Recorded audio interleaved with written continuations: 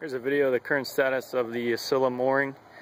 Uh, we got the two Jaycos right here. We got uh, had to buy inch and three quarter shackles to fit on there. Uh, they're two piece shackles, so we welded the pin, and we have the what is this, one and those yeah the one and three eighths set up, so those will go right onto the one inch stud link, uh, and that's set up on both of these. For the crown line, uh, this is a bridle type crown line, so we have one inch shackles coming off of each uh, corner of the Jayco, and we size that down to 5 8 shackles. Uh, the one inch are four piece, the 5 8 are two piece, so we use seizing wire on those. And that goes to three quarter chain, which has a 5 8 shackle, and the crown line, the um, half inch crown line will go right into that when we uh, are ready to put it in. Same sort of setup over here, except we couldn't get other four-piece, one-inch shackles, so we have inch and an eighth two-piece shackles that are seized with wire. Uh, again, the 5 8 shackles going to three-quarter chain bridle up to a 5 8 shackle um, for the crown line. This is the mooring for the Wave Rider. Uh, sorry, this one is. Those are the other two. And we have our chain weight for the uh, installation procedure. And um, next up, the way we are faking out the mooring line, we're still waiting on two shots of one inch chain. So we have, this is what it'll end up looking like. Uh, one shot of one inch chain with the connection.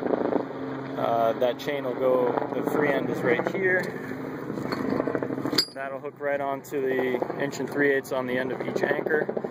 And then the end of the nylon, you see there, it's, the chain and nylon are connected there.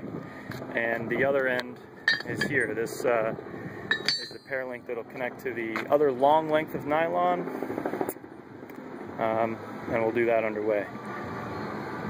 And the other two are staged, ready to go for when the next two shots of one inch chain show up. Uh, and then all of the other 310 foot lengths of nylon are faked out on this pallet, uh, all set up with hardware so they can just be uh, shackled in and put over the side. For crown lines, the setup is like this. Uh, you see on this one, that's the lantern mount. But the uh, 200 feet of half inch chain is coiled on the pallet. You pull the mooring ball off of the coil of chain and then uh, you can uh, attach the end on top of the coil to the anchor, fake it out on deck, and uh, use that to lower the anchor at the site. And then the ball goes in. Uh, and this, all the connections on the end of these have been welded uh, to deter any potential theft. And uh, same thing just for a look at the Samson.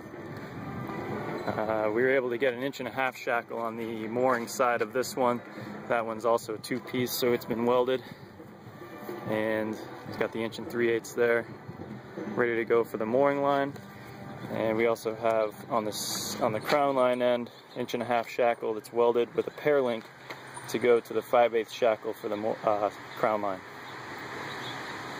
And also the last thing to point out is on the crown line, we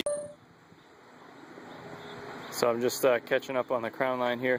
We did a float test with the 200 feet of half inch chain and the buoy and it was riding uh, low in the water. So we want to add flotation.